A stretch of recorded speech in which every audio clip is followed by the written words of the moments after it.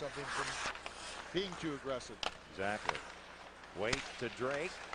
Over to Baron, and Esche makes the save. Laflamme trying to keep the puck in. We're going to get a penalty here. Then Fedoruk and Baron ready to go at center ice.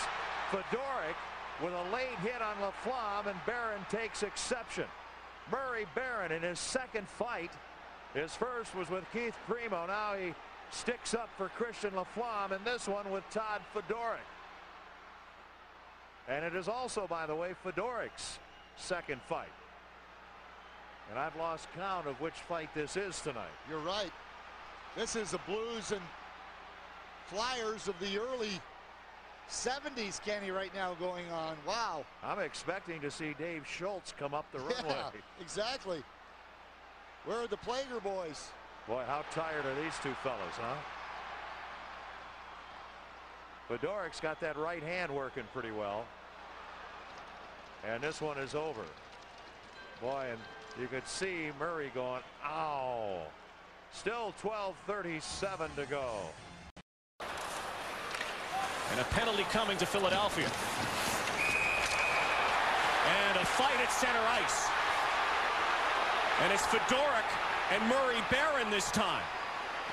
Well, this is a mismatch for Baron. He knows it, and he is going to hold on for dear life. Baron's second scrap of the night. This could be Fedoruk's way of letting Baron know that you're going to fight Primeau. You're going to have to go through me if you want to do it again. See Baron, he is holding on to that right of